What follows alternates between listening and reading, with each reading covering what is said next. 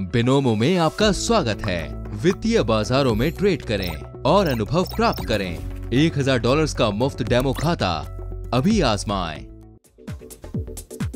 नमस्कार, आप देख रहे हैं फिल्मी बीट। तेजो से ये सब बोलते वक्त फतेह की आँखों में आ गए आँसू। तो वहीं पर तेजो की भी भर आई आँखें। वेल आप देखेंगे कि तेजो के लिए फतेह कहता है कि मुझे अच्छा लग रहा है कि तुम मूव ऑन कर रही हो।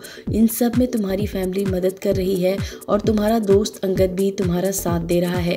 ये सुनते ही तेजो फतेह को देखती है और आँखों में आँसू आ जाते हैं उसके। तो वहीं पर ये सब बोलते वक्त फतेह की आँखों में भी बहुत ही ज़्यादा आँसू होते हैं।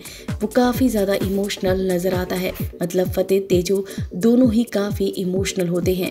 वेल फतेह को पूरी तरीके से रियलाइज़ हो चुका है कि तेजो से वो प्यार करने लगा है। लेकिन अब क्या करे?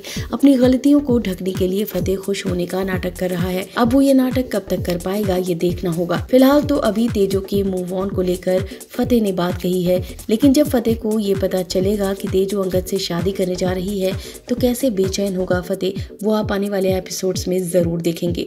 कुछ वक्त तो होगा जब फतेह को तड़पता हुआ दिखाया जाएगा और फैंस भी यही चाहते हैं। सीरियल में आप ज़रूर देखेंगे फतेह की वो बेचैनी तेजो को लेकर जो आपने पहले कभी नहीं देखी होगी।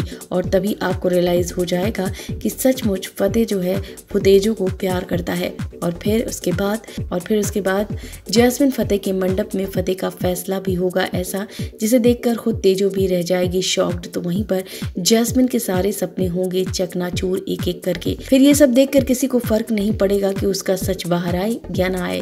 कर्मा उसे उसका रिटर्न दे दिया रहेगा। खैर, यहाँ पर एक बहुत ही बड़ा इमोशनल मोमेंट देखने को मिला, जब तेजो फतेह के बीच हुई बात, जहाँ पर तेजो से ये सारी बातें बोलते वक्त भर आए फतेह की आँखों में आँसू। इस वीडियो में बस इतना ही।